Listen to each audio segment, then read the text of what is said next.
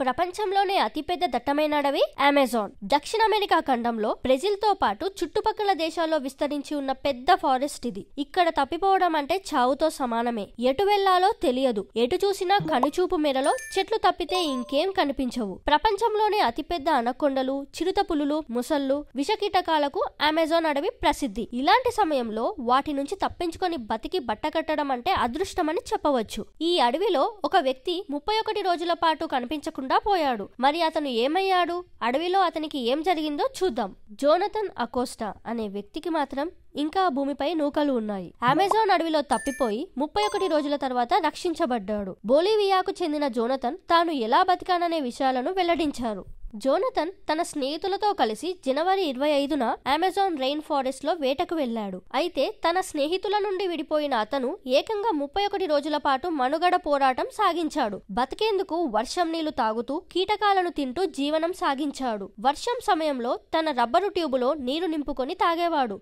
జనవరి నెల చివర్లో Jonathan Acosta తప్పిపోయాడని చెప్పడంతో రెస్క్యూ టీం సెర్చ్ ఆపరేషన్ ప్రారంభించింది. ముప్పై ఒకటి రోజుల తర్వాత గత శనివారం ఆయన్ను గుర్తించారు. నేను నేను పురుగులు కీటకాలు తింటూ బతికాను. ప్రాణాలు నిలబెట్టుకోవడానికి అడవిలో ఏమేం చేశానో చెబితే మీరు నమ్మకపోవచ్చు. నేను దేవుడికి కృతజ్ఞతలు చెప్పాలి. ఎందుకంటే ఆయన నాకు కొత్త జీవితం ప్రసాదించాడు అని ఆయన వివరించారు. నెల రోజుల్లో పదిహేడు కిలోల బరువు తగ్గడంతో పాటు డీహైడ్రేషన్తో బాధపడుతున్నాడు జోనథన్ తిరిగి తన వారిని కలుసుకున్నందుకు సంతోషంగా ఉందని అకోస్టా చెబుతున్నాడు. అమెజాన్ అడవిలో అత్యధిక రోజులు తప్పిపోయి ప్రాణాలతో బయటపడిన వ్యక్తిగా జోనథన్ గుర్తింపు పొందాడు.